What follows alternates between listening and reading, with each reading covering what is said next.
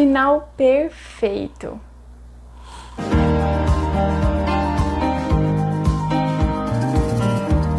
E aí, gente, tudo bem com vocês? Aqui é a Gisela, sejam bem-vindos novamente ao canal aqui Drama K. Para você que está chegando pela primeira vez, seja muito bem-vindo ao meu canal. Nesse canal eu falo de dorama, eu comento os doramas da atualidade, trago as novidades dos doramas que estão vindo aí, comento também um pouco sobre a vida dos astros dos doramas e muito mais, muito mais coisas que vocês sempre me pedem lá no Instagram para comentar aqui no canal. Então, se você gosta desse tipo de conteúdo, eu já quero convidar você a se inscrever aqui no meu canal para você acompanhar esses vídeos, acompanhar esses conteúdos e também já deixar o seu like, porque isso vai me ajudar demais. E galera, eu quero muito agradecer a vocês, gente, muito obrigada por terem me ajudado a chegar aos mil inscritos. Eu tô muito feliz Estou muito feliz mesmo de ter encerrado esse ano com mil inscritos. Muito obrigada de coração a todos vocês que me deram esse apoio, que me ajudaram. Eu sei que teve muitas pessoas que compartilharam os meus vídeos, que divulgaram para as outras pessoas e sempre comentam os meus vídeos, sempre assistem. Muito obrigada. Eu estou muito feliz com essa marca e Vamos lá para nossa próxima meta, vamos lá rumo aos 2 mil inscritos. E, gente, eu quero comentar com vocês o final de Startup, que na minha opinião foi perfeito. O final que a gente gosta, o final que a gente espera.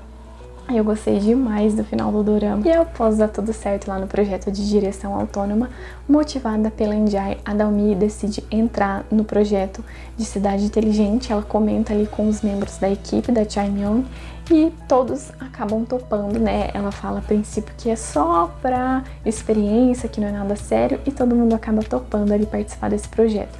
Ela vai consultar o Jay Pyong para falar disso, ele não apoia a decisão da Dalmi, enquanto que o Do-san é super a favor dessa decisão. Ela fica ali um pouco indecisa se deve ou não participar desse projeto por conta de, de todos os acontecimentos, da Sansantec ter sido desfeita, dela ter perdido a equipe, ela sente um certo medo de que isso volte a acontecer, mas acaba decidindo participar do projeto. E o tio Sam finalmente conquistou, conseguiu conquistar o coração da Sarah. Fiquei muito feliz com esse casal, aí que eu tava ansiosa para ver os dois ficar juntos. E o Jae Pyong acaba indo lá para casa do Sam, os dois acabam falando: "Ah, eu quero as cartas de volta, eu quero a árvore do dinheiro de volta". E ele acaba indo para casa do Sam, os dois acabam bebendo além da conta e se abrindo ali um com o outro. O Dosan fala né, que ele acredita que a Dalmi não gosta dele, que, que a Dalmi, a única coisa que a Dalmi falou né, a respeito dele, alguma coisa que ela gosta nele foi da mão.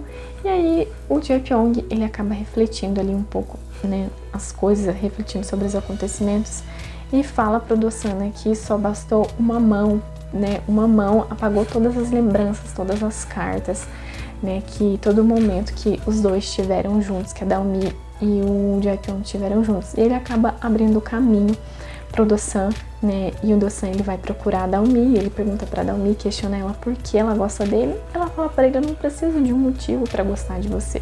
Eu gosto de você simplesmente porque é você, né? Não precisa ter um motivo específico". E os dois acabam se reconciliando. A gente teve cenas muito incríveis nesses últimos episódios, foram cenas muito lindas. É, a primeira cena que eu gostei muito foi a cena da reconciliação da Dalmi com o Dosan. A segunda cena foi do Jae Pyong com a avó da Dalmi. Como sempre, os dois assim têm cenas maravilhosas. Ele super mal, super triste por ter abrido mão do amor da Dalmi. E, e ela vai até lá, conversa com ele, diz pra ele que ele não precisa mais chorar sozinho, que ele não precisa mais se sentir sozinho.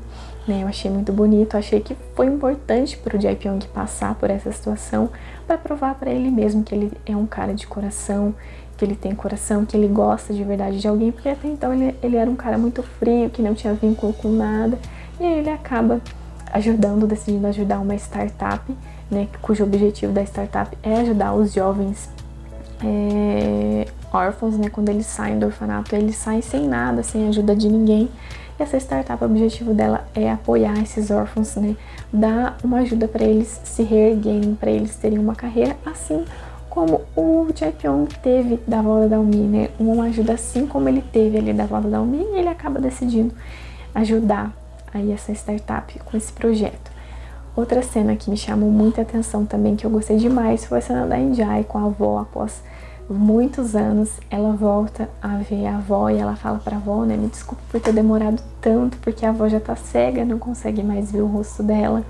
E aí ela acaba voltando a fazer parte da família Seu, ela tira o, o sobrenome One e coloca de novo o sobrenome Seul.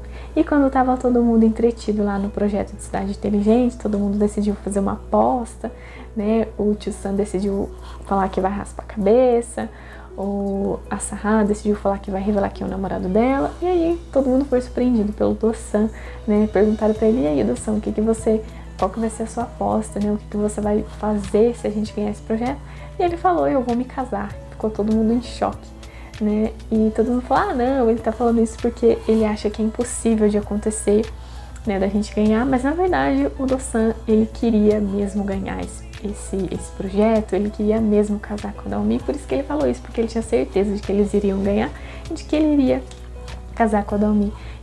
E aí o Dorama encerra com a Dalmi indo lá fazer a apresentação do projeto de cidade inteligente, né? Depois mostra uma cena dela e do Dossan lá naquele cantinho da sandbox, naquele painel de sonhos, né, onde cada um coloca ali o seu sonho, o seu objetivo dentro da sandbox. E uma cena extra mostrou que eles realmente ganharam o projeto, que eles expandiram a empresa, que todo mundo cumpriu as suas promessas, inclusive a Dalmi e o Dosan se casaram. E eu gosto de coisa clichê, gostei aí de ter, de ter uma coisa clichê no final, os dois se casando.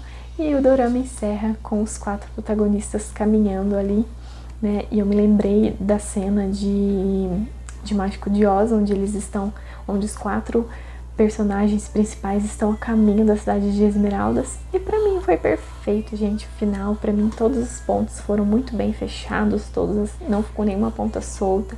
A família se reconciliando, a Dalmi conseguindo chegar onde ela queria, a Injai também pagando ali a aposta que as duas fizeram há anos atrás, a Dalmi e o Dosan se reconciliando, Dosan né, realmente se de descobrindo que ele é uma pessoa inteligente, ele que vivia com peso né, de, de ter mentido lá, de ter colado na Olimpíada de Matemática, de se sentir um fracassado, de sempre ficar com a autoestima baixa, de achar que ele não era capaz de ter o amor da Dalmi, né? Ele toma ali um, um safanão do Jae Pyong falando, né, você tem que ter autoestima, cara, você é um cara inteligente.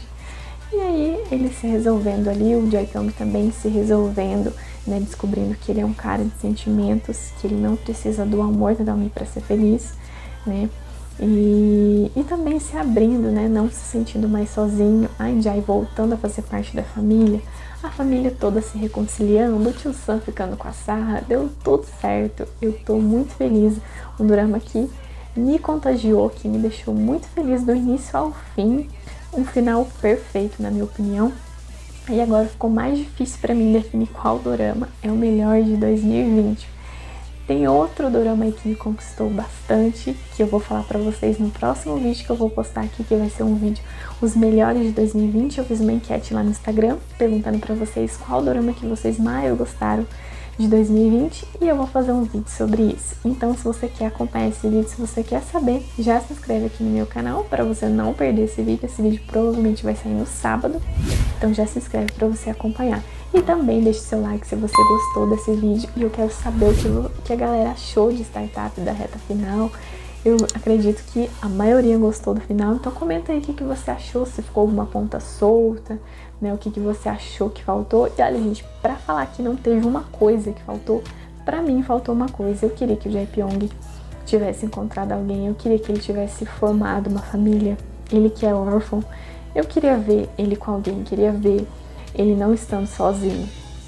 Pra mim faltou isso, né? A única coisa, não que faltou, mas acho que eu ficaria mais feliz se tivesse mostrado algo do tipo. Mas é isso, gente. Me siga também lá no Instagram, arroba sempre lá conversando com a galera. E um forte abraço e até a próxima. Tchau, tchau.